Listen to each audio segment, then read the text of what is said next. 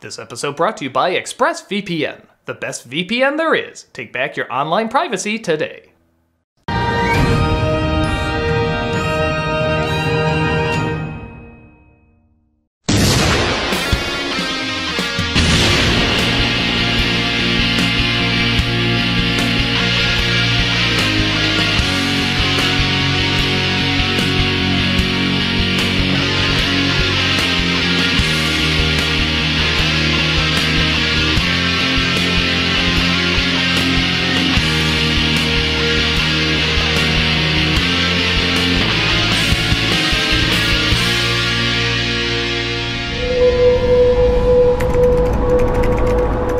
Sunday, AD.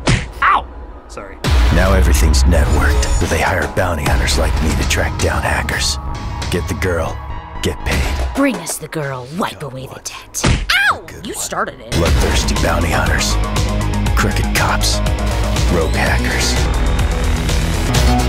That puppet from Simpsons does colors now? Ow! I was legitimately asking. And my nexus point, the narrator sounds like an ex Power Ranger. Ow! Why did I think you guys would be quiet for my presentation? On that note, yes, that is Johnny's voice for the trailer, and he also does the music for the series. I knew it sounded like he drove a minivan and a frog in his teens. You could tell that with his voice? Tell me how you're going with this job. And that was my new comic series on Webtoon. I'm gonna assume you hated it. Honestly, it looked pretty cool. Yeah, I'd read it. But you guys made fun of it the whole time. That's what we do for everything. Especially things we love. Yeah, like you're bald. You're bald! Yeah, but you're bald. So does this sound like something you guys can promote? Oh, Trevor, you clearly worked very hard on this, but we have to find something to review that's in the same vein. Yeah, like maybe a review that we were all in. Or a series of reviews we could needlessly tag onto. Well, The Matrix was one of the inspirations for the series. That's good to know. Now, if you'll excuse me, we're gonna review Matrix Resurrections. But we'll let you know if we think of a tie-in. Yeah, and let us know if that Johnny Young guy gets up to anything big. He's in some of the biggest animes of all time. Anime? That's still a thing? I give it two more years. Anyway, keep in touch. Mr. Alger Critic, yes. Are you okay? I mean, less than usual? yeah, yeah, I'm fine. Um, keep in touch.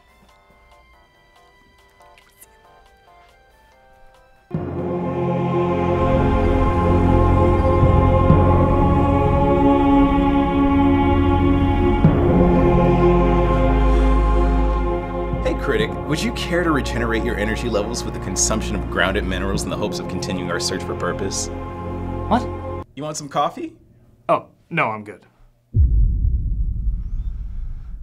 Should probably do something about this. But usually it works itself out in 20 to 30 minutes.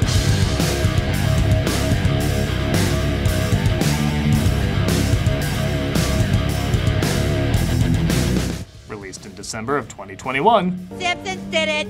Almost 20 years have passed since you pretended you saw the last Matrix movie, and now the Wachowskis, minus one, are back to give you the final part? Yeah, definitely the final part.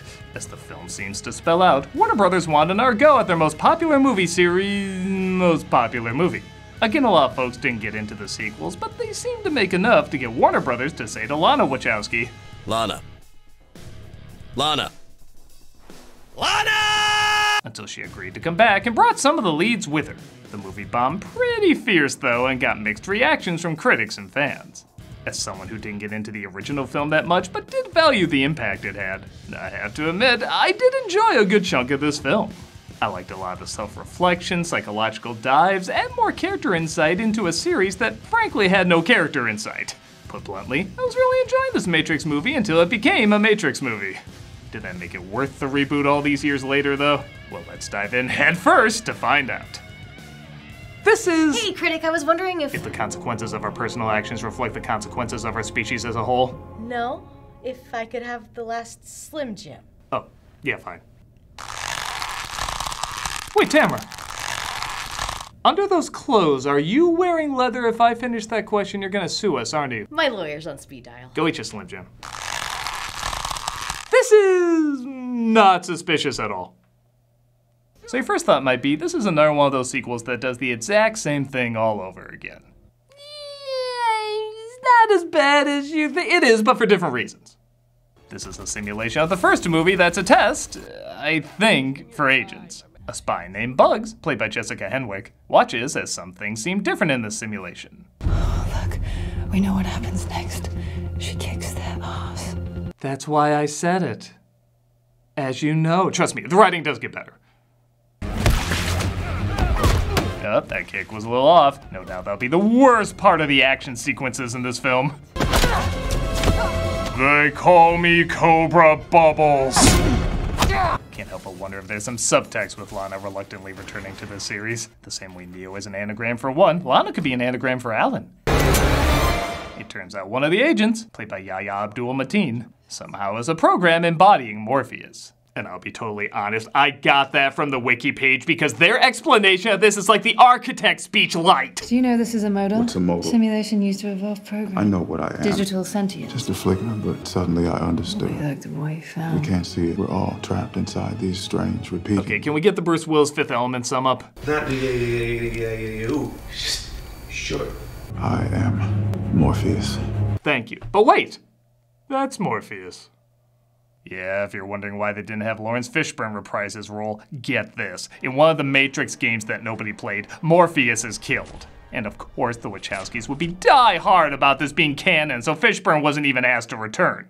Because Lord knows bringing a person back to life, two people back to life, just wouldn't be believable in this world. Missed that overwritten dialogue yet? You call this a choice? Oh, honestly, when somebody offered me these things, I went off on binary conceptions of the world and said that there was no way I was swallowing some symbolic reduction of my life.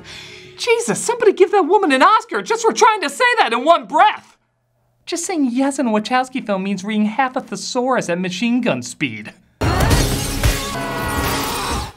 The pill and we cut to Neo, played again by Keanu Reeves, who's been given the most impressive reboot of the film. He's been programmed to actually act in this. Having a mental breakdown again, or living inside a computer generated reality that has imprisoned me again.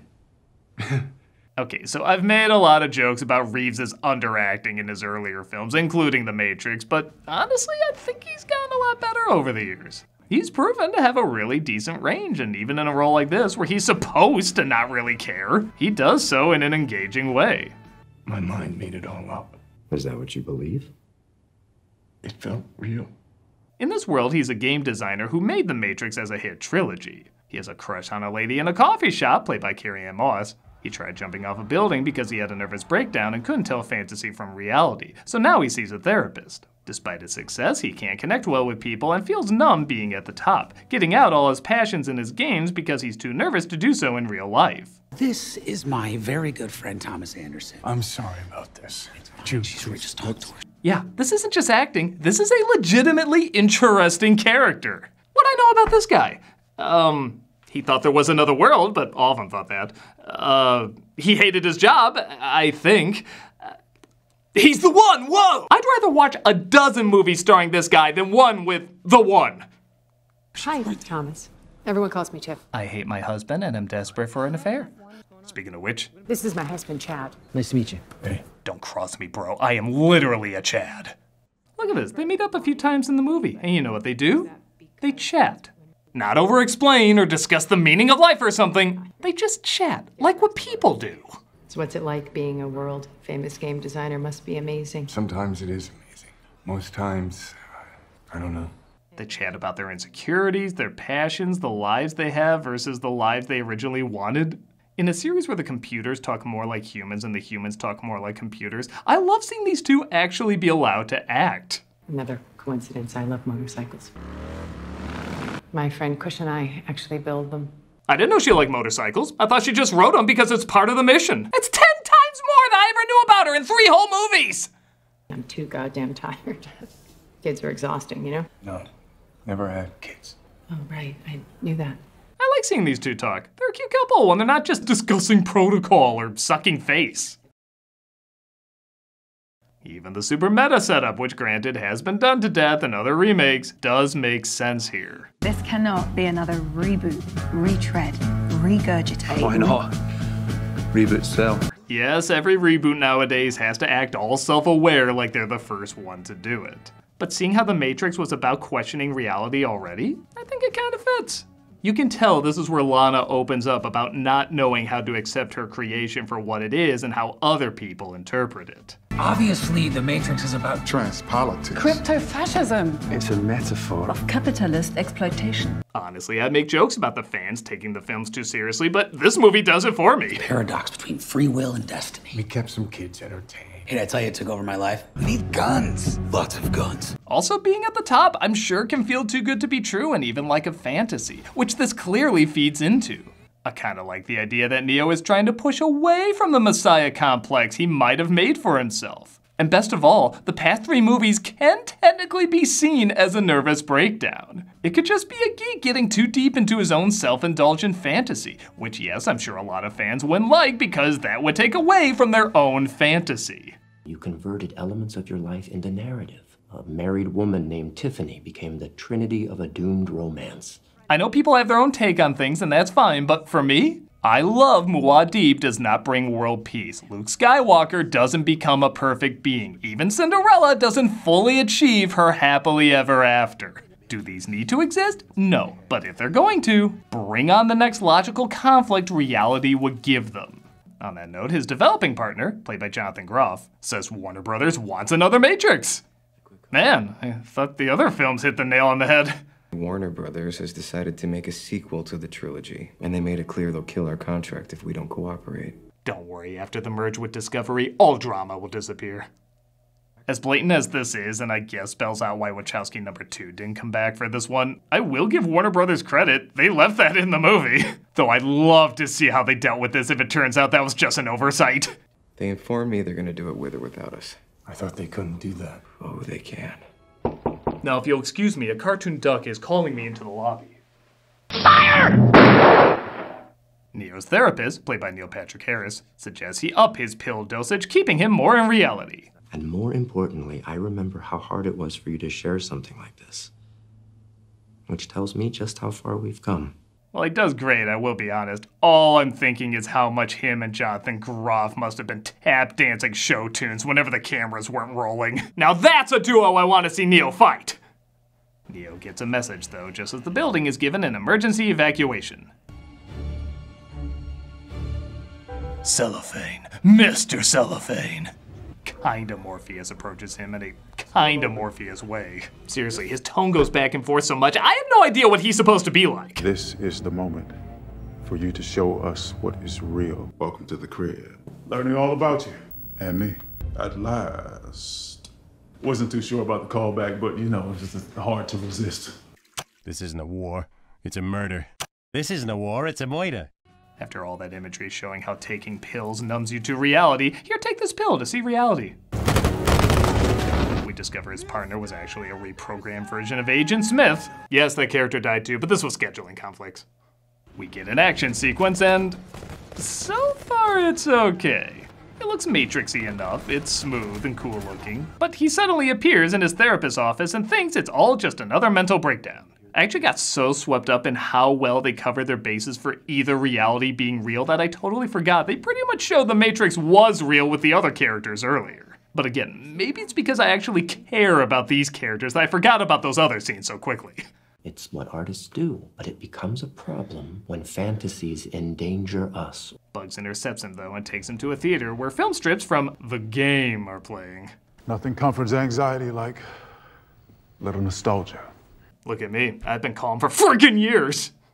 After he takes the pill, he's confronted by his therapist who tells him he broke into his home. Please, this is not a game.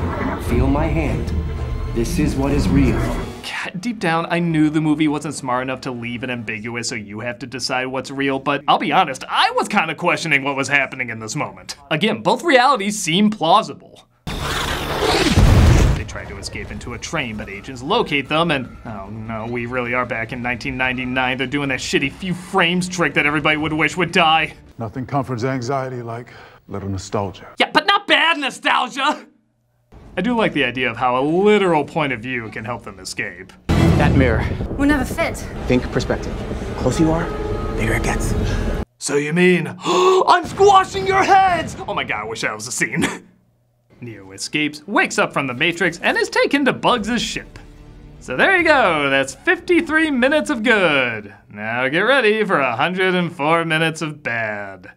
Hey, critic, I've been checking out that Nexus Point comic. It's actually pretty good. Yeah, I'm sorry, have things slowly been getting more green around here? Oh, I think we're trying to be more environmentally friendly. No, I mean literally green. Oh, good, because I was completely making that up. Wait a minute, why are you wearing black leather? Why aren't you wearing black leather? Oh, that's a good point. I should go change. Hey, wait, that's not how this works! Hey, critic, I thought of another way that we can work the comic in.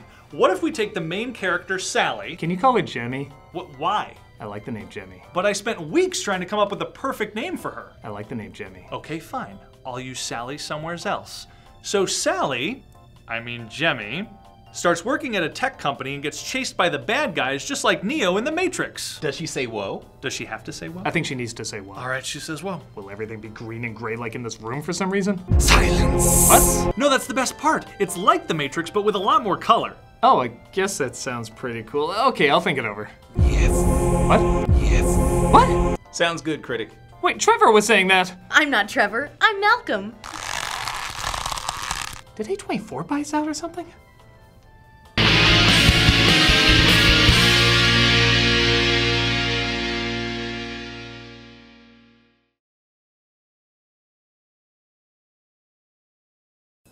Doug Walker here. Just kidding, I'm an alligator.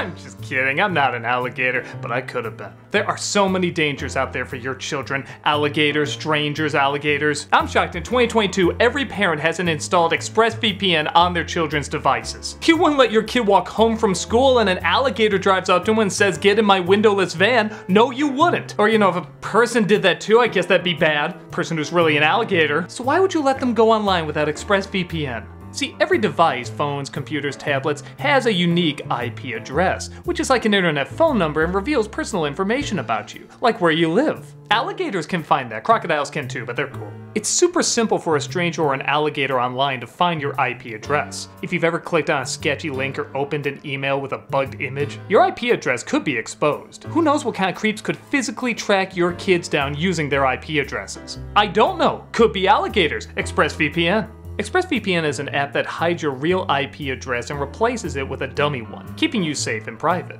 It's so easy to use, just download the ExpressVPN app on your phone or computer, tap one button to turn it on, and you're protected. Even my child, who I lost to an alligator, could figure it out. I learned my lessons too late. But you don't have to, because here's the coolest part about ExpressVPN. They let you choose what country you want your IP address to look like it's coming from. This is super useful because services like Netflix and Disney Plus give you different shows depending on what country you're in. I and my other child, who got horribly injured by a circus porcupine, don't even get me started about them, loved this. Because we can just switch our country and get hundreds of extra shows for free. Like just this weekend, we used ExpressVPN to change our country and watch Black Books on Netflix. My other child loves that show as he's watching on Painkillers. So secure your family's online activity and unlock tons of new shows by visiting expressvpn.com slash nostalgiacritic. Use my link and you can get three extra months free. That's expressvpn.com slash nostalgiacritic. Go to expressvpn.com slash nostalgiacritic to learn more. I'm Doug Walker, not an alligator, and I probably revealed too much about my personal life. My therapist says working this into a sponsorship is not healthy, but the product is still good. Fighting back tears is fun.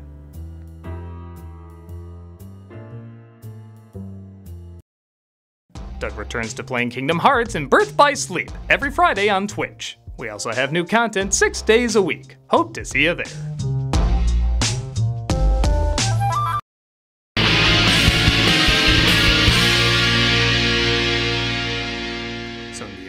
Examined by the ship doctor. What's up, Doc? A character named Bugs just asked a doctor what's up. I hate how much I love that. And we're teleported to the Kung Fu training scene because you remember the Kung Fu training scene. I know exactly what you need. Me in an open robe handing you a martini. Man, Lana has been reading the fan theories. Come on, Neo, Viper! It's the nerdgasm producers think fans are having right now. He wakes up back in his room where Bugs wants to talk with him. Mind if I? Trying to open my beer bottle off you. They took my life, turned it into a video game. And turned it into something trivial. Not so trivial, you can't bring actors back because it's canon. Yeah, I'm still stand by the John Wick films are unofficial simulations. Everything we did. None of it mattered. All of it mattered. It gave us the courage to repeat the same shit over again. Yeah, we're basically back to business as usual with everyone sucking Neo's dick, praising him as the one. Not to fanboy out here, but this is kind of a huge moment for me. Berg is our resident neologist. Oh, Jesus. Literally, I like it better when he thought he had a Jesus complex. Remember, therapist bad, being the chosen one good, and pills still figuring that one out, I guess. They're Synthients. It's a word they prefer to machines. One addition I like is they apparently team up with machines in the hopes of making the world better. I would have liked if maybe Neo had a prejudice towards them, but they never do take advantage of that. They do take advantage of Guy Pearce's makeup from Prometheus, though. Niobe? The world was different then. Yep, that's Jada Pinkett Smith reprising her role as Niobe, and while it does look like a latex pancake melted on her face, she actually does an okay job acting under it. A few more wrinkles and a few less teeth, but wise enough to know I don't know anything. Except what pushes your husband's buttons. I think you know that pretty well now. We found the one. I don't believe in the one. I never did. But it's an anagram for Neo. It's clever. It must be true. Hey, gardening. Now shit's getting exciting. Welcome to the garden, Neo. A strawberry? You remember that shit we used to eat? How many adults refer to the trilogy now? So it's a little confusing, but I think after Neo died, the machines started fighting each other. Another idea I think is clever and surprisingly believable. But Neo thinks they're keeping Trinity alive and he wants to save her. Niobe says no, but Wascally Bug says yes and sneaks him back into the Matrix to get some answers. So what do you think of him? I was kind of worried at first because he's so much older. The beard, the hair. Ugh. Ah, when producers thought that would be the biggest problem fans had with the film. They run into Smith and the one cast member I know you were waiting to see again. All these years, I can't believe it. Ah, Pepe Le Pew did not take getting canceled well. It's funny because I don't remember disliking this character. I remember him being kind of fun. But he really is the Jar Jar of this scene, like he's supposed to distract us from how bad everything else is we're watching, and he's about as effective. We had conversation, not this beep beep beep beep beep.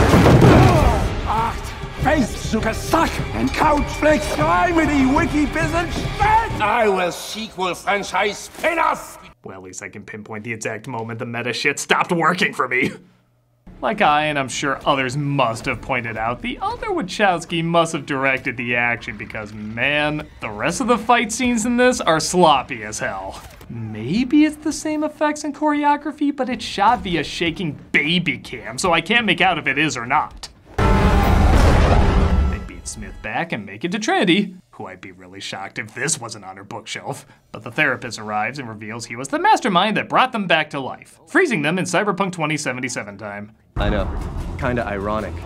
Using the power that defined you to control you. You're not even a real doctor, are you, Mr. Howser? I was there when you died. I was tentacle number three. Come on, tell me I wasn't programmed from that. First, I had to convince the suits to let me rebuild the two of you. Why her? Getting there. Harris does everything he can to save this rambly dialogue, but at six minutes of yapping and watching him glick like a Jaguar game, it gets pretty headache inducing. Basically, he said his attempt to bring Neo back to life failed until he decided to bring Trinity back as well. So, like they keep saying with Smith and Neo, everything is around the yin and the yang and the Yang's girlfriend. I don't know. Here's the thing about feelings they're so much easier to control than facts. You've never interneted, have you? Before you can talk to her more, they're captured and court-martialed. Don't worry though, we're only here for a mere 10 freaking minutes! Yeah, we stay here as they try to convince Niobe to listen to them, figure out a plan, introduce another character you'll forget about by the end, and go over the details of the plan in the real world and the details of the plan in the Matrix world. Is a small hexagonal vent. This vent feeds the air intake into the corpuscular modifier, which oxygenates the biogel used in Neo's pod. I usually love these scenes in heist films where they go over all the cool details, but at this point, I'll accept. Take calm, grab Liz, go to the Winchester, ice cold pint, and wait for all this to blow over. They agree to meet the therapist at the coffee shop where nobody questions the SWAT team there. Guess it's just SWAT night. And they give Trinity the choice to be with Neo or her family. No pressure. If she says no, what happens to Neo? At this time, the most important choice of Neo's life is not his to make. Out of our hands. Forwards. Out of our hands. This movie would be an hour long if people talked how people talked. She, of course, chooses Neo, but before the therapist can get them, Smith enters the picture saying he wants revenge on Doogie as well. I was free to be me. I do buy that he would want to rough him up also, and yeah, I'll give credit, this is the one scene where the tight, crowded action works. The idea of a whole SWAT team in a coffee shop where it's almost impossible to move is kind of a creative, chaotic, and even a little funny of a place to fight. Stop them. Oh no. Drat! I've been foiled by the power of love! You think this is over? Box office says yes! Smith takes him out though, and their alliance ends. You know the difference between us, Tom? Anyone could have been you, whereas I've always been anyone. They go from SWAT to swarm though, as everyone in the city literally launches themselves as projectiles towards them. Again, not shot great, but it is a pretty entertaining idea.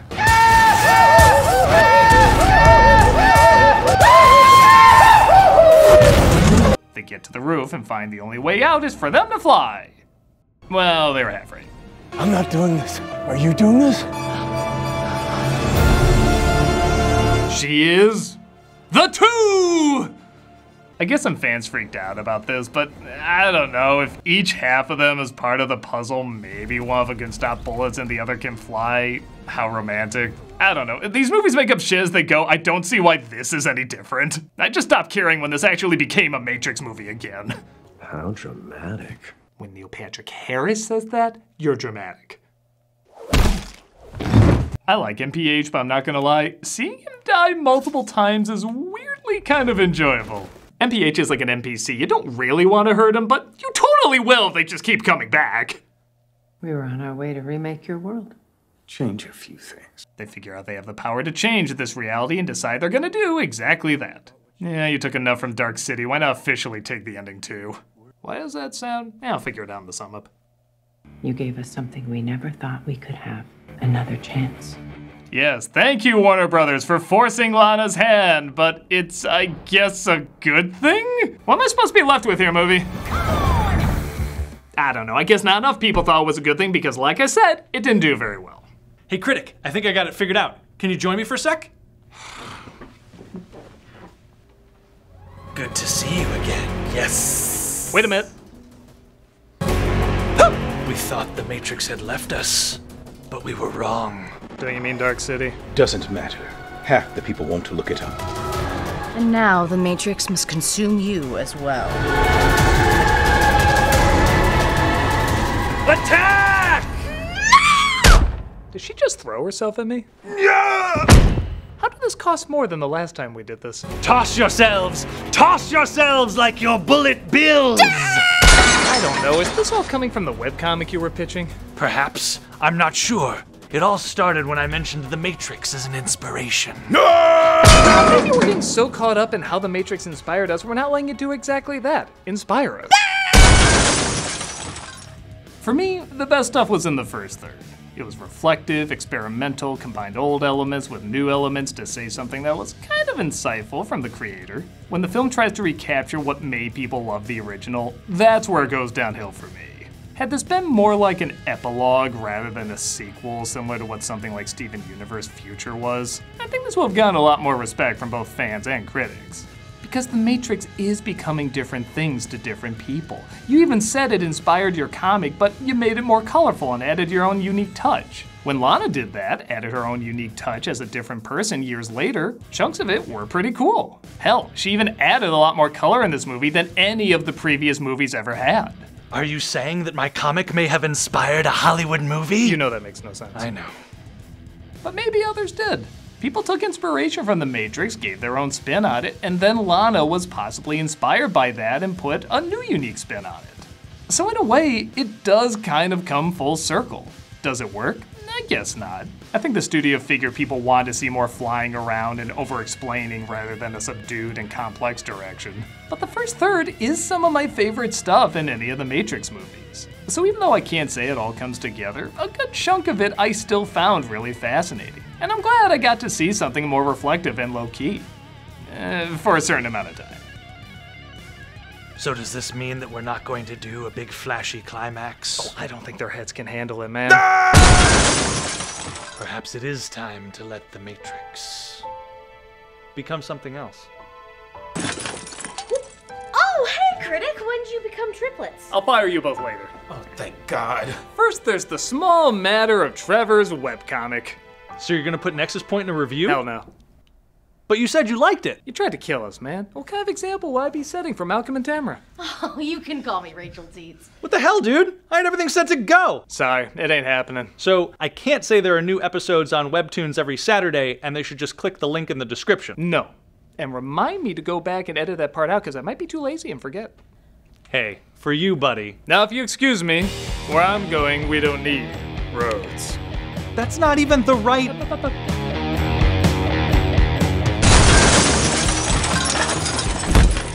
Oh my god, that was stupid! Oh, that hurt! Oh Christ! There's a ceiling up there! The floor hurts! Bullet Bill! Floor and ceiling hurt! What's wrong with us? This place scares me. You all scare me. We're not adults! We are not adults! Oh, honestly, when somebody offered me these things, I went off of binary conceptions of the world and said that there was no way I was swallowing some symbolic reduction in my life. We're continuing cameos for charity, and all this month, we're donating to Living Beyond Breast Cancer. Living Beyond Breast Cancer is fulfilling its mission to provide trusted information and a community of support to those impacted by the disease. They offer in person experiences and on demand emotional, practical, and evidence based content that is meaningful to those newly diagnosed, in treatment, post treatment, and living with metastatic disease. Having done this for over 30 years and having a four star rating on Charity Navigator, this is definitely a great one to support. So if you want a cameo from me saying happy birthday or congrats or whatever, click on the link below and be giving to a good cause. Or if you're like, I hate your face, I don't want a cameo from you, still consider looking at this charity anyway. Whether you donate, volunteer, or just spread the word, you can do a lot in helping this wonderful organization out. So click on the link and give it a look. Thanks so much.